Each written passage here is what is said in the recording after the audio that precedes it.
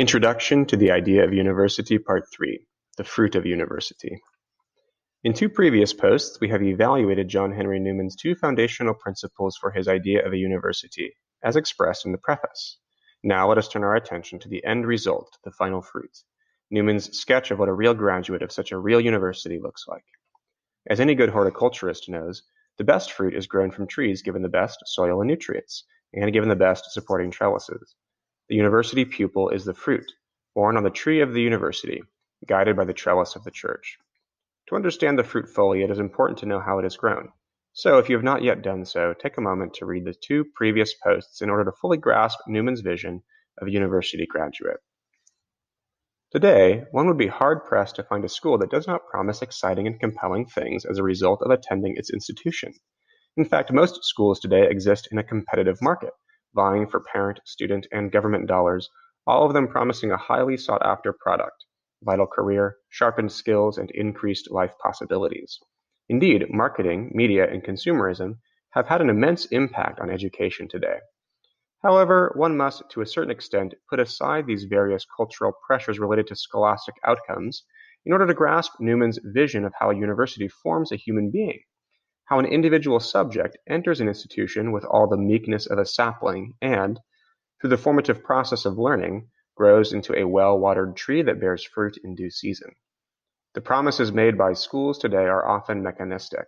A program or a system claims to offer some kind of guaranteed spot in the workforce or in higher academia. While career and educational progress are a natural end of university education, they are precisely a natural end to what is a deeper and more complex process of growth than what assembly line schools assume. According to Newman, a university education results in the real cultivation of mind. In his book on the Roman poet Virgil, Virgil, father of the West, German scholar Theodor Haecker reminds us that this word cultivation, which comes from culture, is a word borrowed from the farming industry. A university engages in a similar kind of agricultural work. There is serious and hard labor involved. This includes not just brute work, but rational awareness, being in tune with the weather, the seasons, and the needs of the crops. It requires being in tune with nature. Just so, education, the project of cultivating a culture of the intellect, must be in tune with the true with true human nature, and must be aware of the true forces of human growth in order to know what labor should be involved and at what times. But it also requires the grace of being able to step back and know that the fruit itself will grow of its own accord, given the right conditions. The fruit cannot be forced. The pupil must be allowed to blossom given the right circumstances. Knowing the agricultural roots of the word for cultivation and culture helps us see that the essence of a liberal education is to bring the mind into form.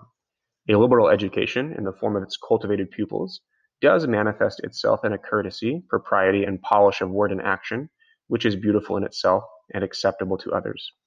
Newman describes the successful pupil as having acquired good sense, sobriety of thought, reasonableness, candor, self command, steadiness of view, power of influencing others, and sagacity, which all culminates in a faculty of entering with comparative ease into any subject of thought and of taking up with aptitude any science of profession.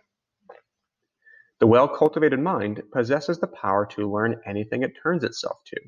This is the true fruit of a liberal arts education, what some today are calling a classical education, or a classical Catholic education.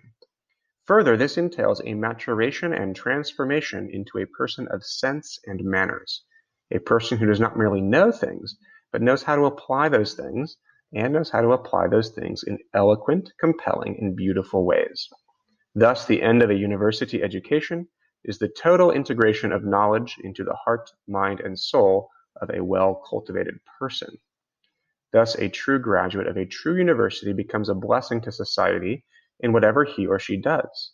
The well-formed student, by mere personal presence, leavens the world with truth and charity and can engage in any intellectual or practical enterprise. He is not a mere hereditary Christian who does nothing because he does not realize the grandeur of the truths he holds. But he is also not an infidel, fanatic, or heresiarch, who does much, and does much energetically, for the sake of an erroneous, albeit consistent, view. Newman's star pupils are those who energetically and consistently do much for the sake of truth. Given accuracy of true knowledge, and given the moral, theological, and philosophical guidance of the Church, the fruit of a university is a well-matured human person, fully alive to God, the self, the world, and others, fully cultivated in mind, heart, and will. In essence, Newman's University is a place for teaching universal knowledge. In practice, Newman's University must also be assisted and informed by the Church, whose possession of revealed truth and authoritative love for her children grants her the duty and right to undergird the human enterprise of seeking universal knowledge. And the natural result is the propagation of well matured human persons who, truly cut from the cloth of their cultural setting, nonetheless are instructed in universal knowledge and honed into natural and spiritual blessings. Based on these principles, Newman gave a series of lectures upon the founding of the Catholic University of Ireland, which is now called University College Dublin, Newman's personal interest in and experiment with quality university education not only flowered into a real university, but also left us with a record of his thinking in the form of the lectures, or discourses, that make up his book, The Idea of University. Forthcoming posts will look at the idea of university, discourse by discourse, unpacking Newman's insights that are, indeed, universal in their wisdom and potency, and desperately needed for our own times.